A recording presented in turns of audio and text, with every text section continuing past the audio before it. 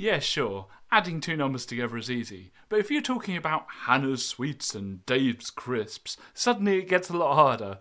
It's called solving problems, and we're covering it today. Solving problems is like eating a cake. Don't eat the whole cake at once. Cut it up into manageable slices and take your time. Jamie is tiling a wall. The wall is 3 metres by 8 metres. Each tile is 50 centimetres by 50 centimetres. Tiles cost £14 for a pack of 12. He already has 20 tiles. How much will it cost Jamie to tile his wall? If this feels like a lot of words, remember it's a cake that needs to be cut up into slices. Let's start by figuring out what the question is asking.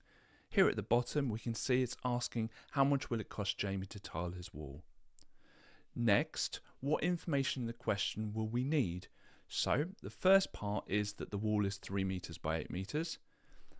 Each tile is 50 centimetres by 50 centimetres. Tiles cost £14 for a pack of 12 and he already has 20 tiles. So let's write this information down so that we can just use this information rather than being bogged down by all the other words in the question.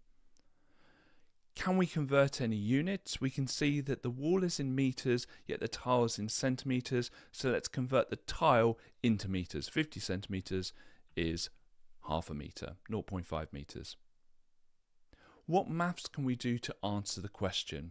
So first of all, I'm going to write down or I'm going to draw a diagram of the wall but you can see that I've actually drawn the squares in and that just helps me visualize what we're dealing with here. So we've got 3 meters down and 8 meters across. So I've just done it with 3 squares and 8 squares. We know each tile will be half a meter. So instead of 8 across, it's going to be 16 across. And instead of 3 up, it's going to be 6 up. So I'm going to draw a diagram for that. Okay, and I'm just going to copy that onto here so we get a bit more space. Next, we need to ask ourselves how many tiles are there in total? So there's 16 across and 6 up. So that's going to be 16 times 6, 96 tiles in total. Next, we need to figure out the number of tiles we will need to buy. Well, he says he already has 20 tiles. So we just need to take the 20 away from the 96. So we need 76 tiles. So we need to go to the shop and buy 76 tiles. But the tiles are sold in packs of 12.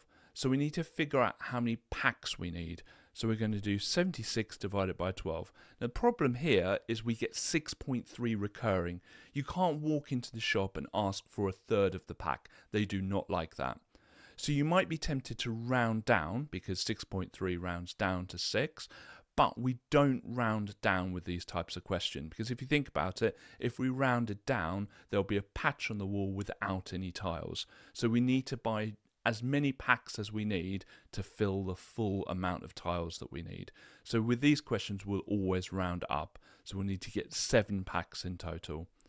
And finally, we're looking for the cost that he's going to um, pay. And we know each pack is £14. So we're just going to do 7 times 14, which is £98 in total. The final step of this question is just check that the answer feels correct do you think roughly it's going to cost about £98 to buy these tiles? And that feels right to me. If the question was, or if the answer was 49 pence, would that feel correct? Probably not. That would be very, very cheap for tiles. If the answer was 17 billion pounds, would this feel correct? Well, I'm going to level with you. If it was 17 billion pounds for that amount of tiles, I would quit teaching and make tiles full time. Let's finish this topic with this question. Cars are 4 metres long and a section of road is 20 metres long. Why is it unlikely to ever see 5 cars queued up in this section of road?